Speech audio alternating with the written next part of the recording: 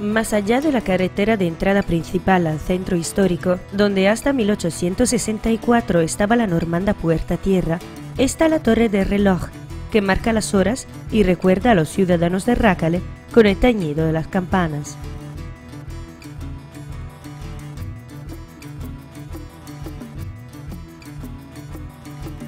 La torre original se remonta al 1123, el año de la construcción de las paredes urbanas ahora inexistentes.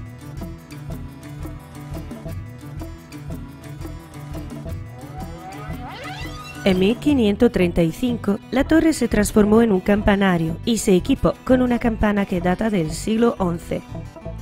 Sin embargo, el trágico terremoto de 1743 dañó toda la estructura. Luego fue reconstruido, teniendo en cuenta su forma cuadrada original, que se mantuvo y se rehabilitó.